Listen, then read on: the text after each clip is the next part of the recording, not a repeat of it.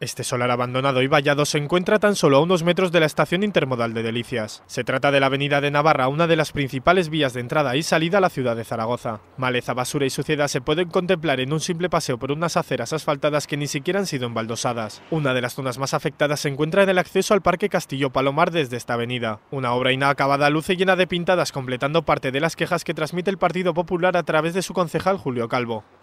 Lo que queremos denunciar es el abandono el abandono de esta vía, una de las principales de la ciudad, mientras están acometiendo muchas otras obras de dudosa utilidad y desde luego sin ninguna demanda social.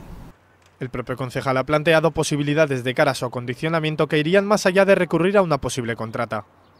También están las brigadas municipales que por lo menos podrían adecentar el, solar, limpiarlo, limpiar la hierba, cortarla, eh, retirar la maleza e incluso el hacer un ajardinamiento sencillo con un poco de riego y, hierba y tenerlo un poco cuidado, tampoco sería excesivamente costoso.